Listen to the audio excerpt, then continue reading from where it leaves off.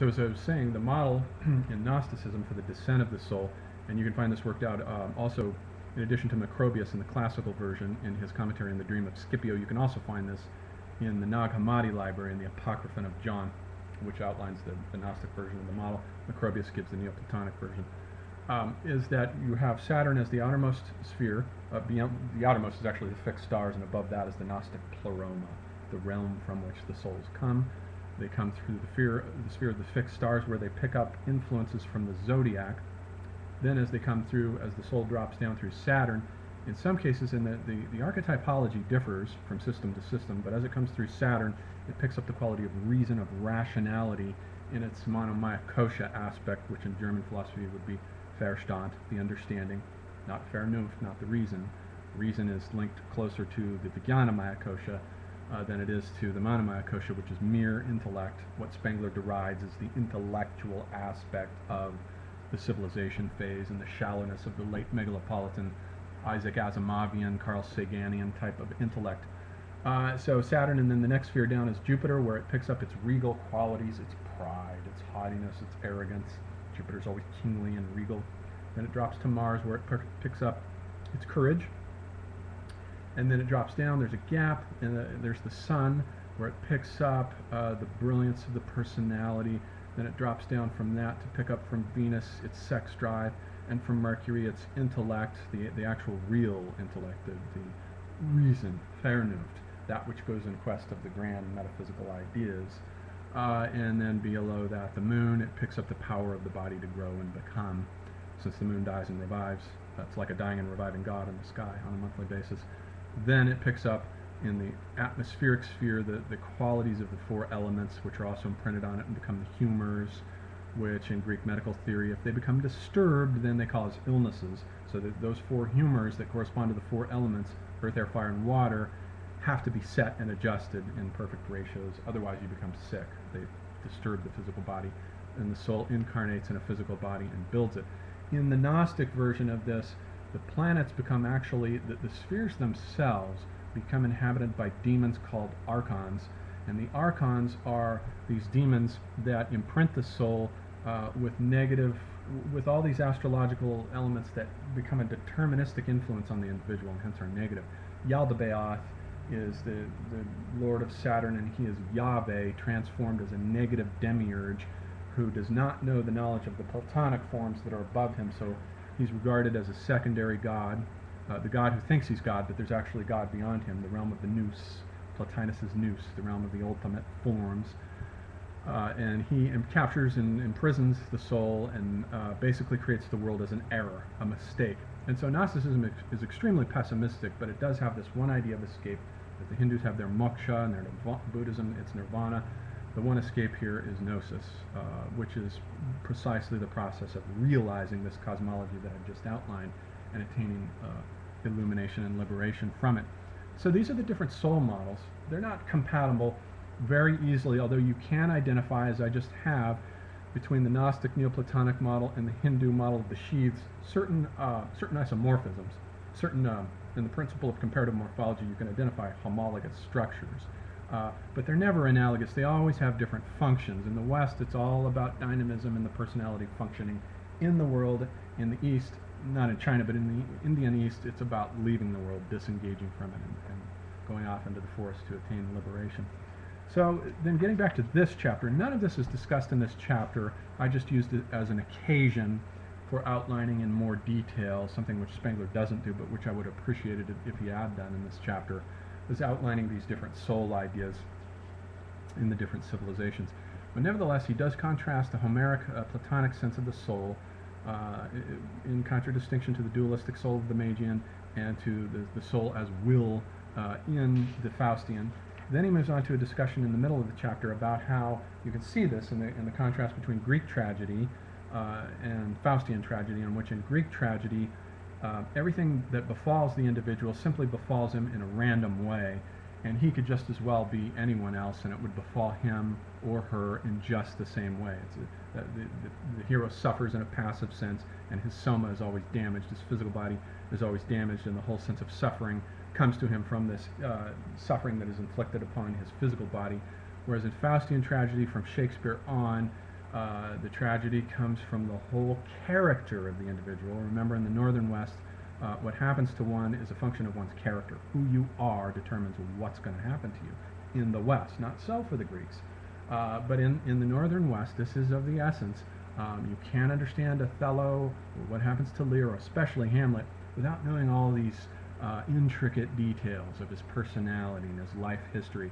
And this becomes the Faustian tragic myth, uh, and, the myth is the tension of this unique individual incarnate in a specific set of historical circumstances that uh, provide the tension between what he wants and what he's trying to achieve and that which society uh, limits him in his ability to achieve so that there's always this, this very difficult tension uh, and the essence of the tragedy comes from this conflict between self and the you that is working itself out in Faustian uh, tragedy. So that's the essence of the discussion on uh, the distinction between the two modes of tragedy in the classical mode and in the Faustian mode. And then he says that uh, he finishes this question by saying that our science, our scientific picture, also is no more objective than our Faustian soul is and can no more be said to be the real truth of things than the Faustian soul.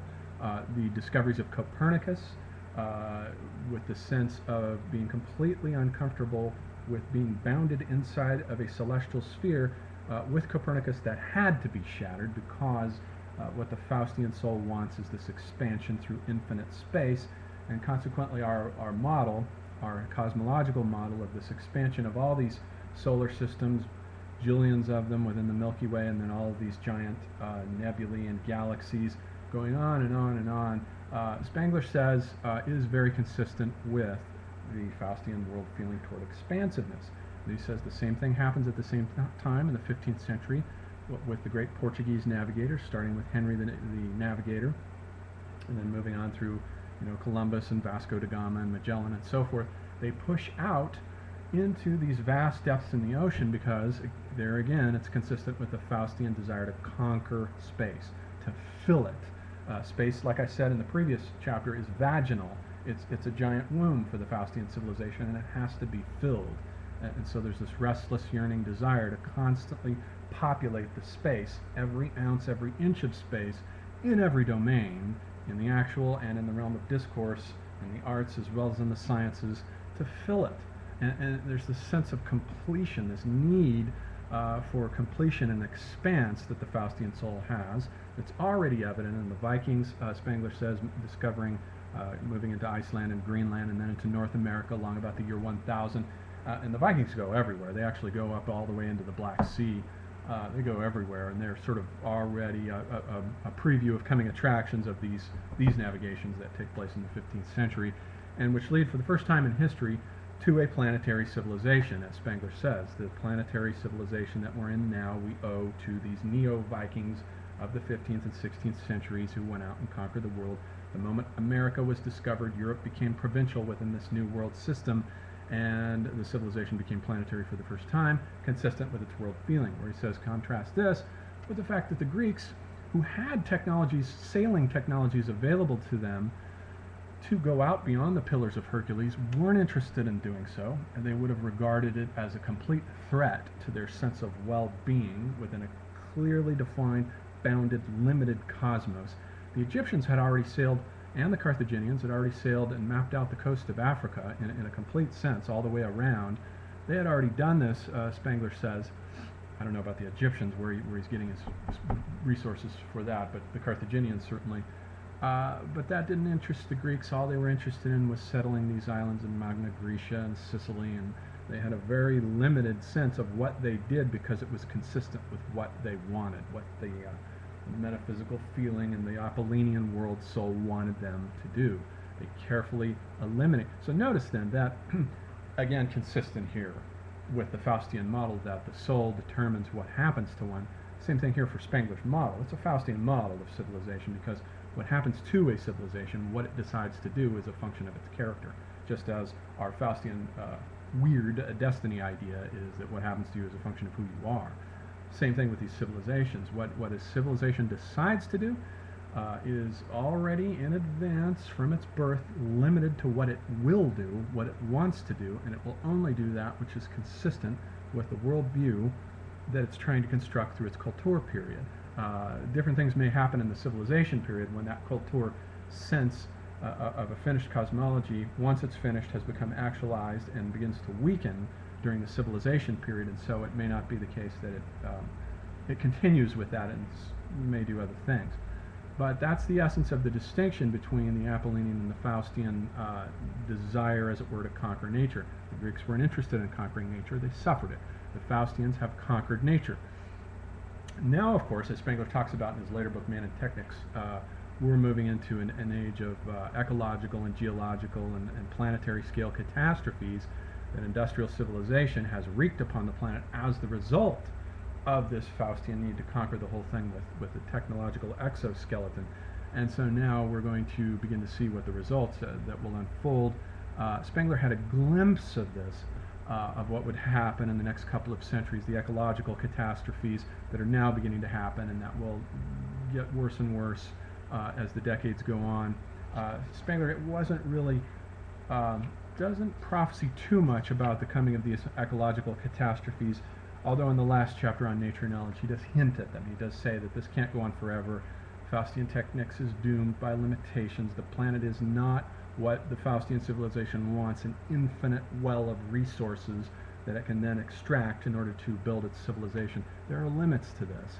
Uh, and the limits will gradually be reached, and the Earth's ecosystems, uh, having been tampered with and messed up uh, by all these Faustian uh, greenhouse gases and these Faustian uh, systems, uh, fracking in the Earth, which cause earthquakes, um, all this stuff that Faustian civilization is doing to the Earth uh, will doom it. And you can already see any anybody who's who's a physiognomist who has the visionary aspect to see this can see what's coming. It's it's, it's clear to me uh, that, that what is coming is, is the Faustian bargain. And it, Faust, naming our civilization after Faust, I think, was, was perfect uh, because the Faustian myth is precisely that, that Faust makes a deal with the devil uh, to get what he wants. In his case, Gretchen first, uh, and later uh, to learn about all the secrets of antiquity and so forth. And then eventually he has to pay the price, and the devil comes to collect his due. In Marlowe's play, it's that way. Uh, Goethe changes the ending so that he actually becomes rewarded uh, rather than having to pay and his soul captured by the devil. Goethe changes the semiotics because he wants to reward the Faustian civilization for its endeavors. That for, Goethe, um, there are no limits on knowledge, and he wanted to know everything, and he didn't want this myth of, Faust, of Faust being damned by Mephistopheles. But he changed the myth, and the original sense of the myth, it was a Protestant myth that came out of uh, Protestant folk culture first, uh, out of plays and festivals. Um, the earliest Faust texts that we have are anonymous before they get to Christopher Marlowe. Uh, Marlowe's is the closer to the original authentic meaning. Uh, and Thomas Mann, in his novel Dr. Faustus, retains that original sense uh, that the devil will come to collect his due eventually. Um, and so that's it for this chapter on the form of the soul. Uh, there are two chapters left in Decline of the West, Volume 1. Buddhism, Stoicism, is, and Socialism is next, and then Nature Knowledge, in which he examines the scientific world picture. Uh, so we'll move into those next.